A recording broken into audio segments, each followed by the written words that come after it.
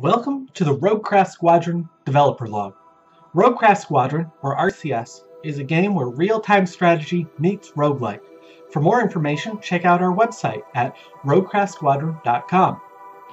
We've had our times for South by Southwest Gaming confirmed.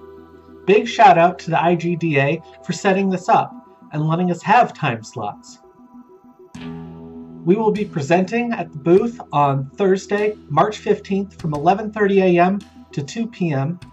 and on Friday, March 16th from 3:45 p.m. to 6 p.m. We will be at the southeast corner of event halls 1 and 2 at the IGDA booth. So, big shout out today to Elliot Krasny.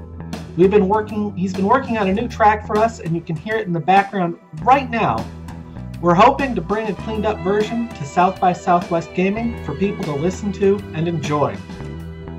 For any font nuts out there, we've updated our choice of Yantramanav Black to Yantramanav Regular. We're hoping this makes a lot of the text a little more legible.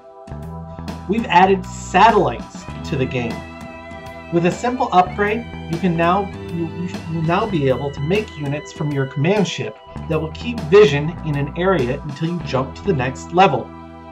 Greetings. A big change to the game is the introduction of research pods. Instead of having to surrender to gain 5 research points, or win of course, now you have to collect them in game. We feel that this will encourage players to explore a little more. This also leads into our next point. Every time you jump, if you have research points, you'll be able to upgrade your research tree mid-game.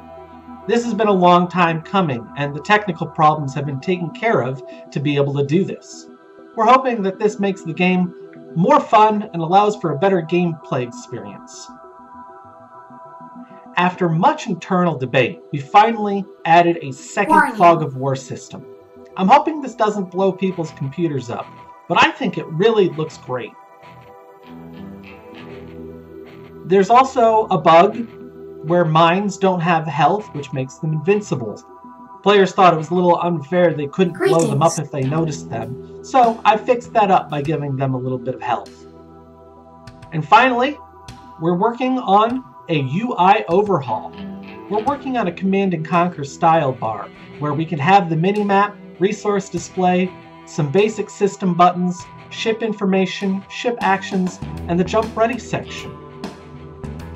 Thank you for listening, and until then, this is Seppi signing off.